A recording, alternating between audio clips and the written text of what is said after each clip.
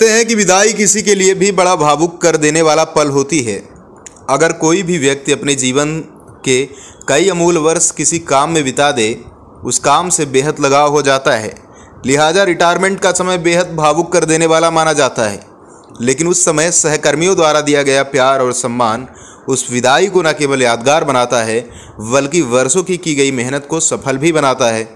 इंदौर में भी एक ऐसी ही विदाई देखने को मिली है, जो हर किसी को भावुक कर गई।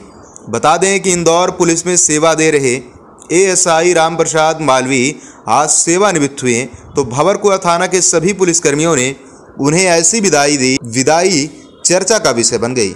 दरअसल राम प्रसाद मालवी अभी तक इंदौर के भंवरकुआ थाने में एसआई के पद पर अपनी सेवाएँ दे रहे थे, जो सोमवार को सेवानिवृत्त हुए हैं, जहाँ सभी पुलिसकर्मियों ने थाने के बाहर बैंड बाजे के साथ राम मालवी को घोड़ी में बिठाकर विदाई दी।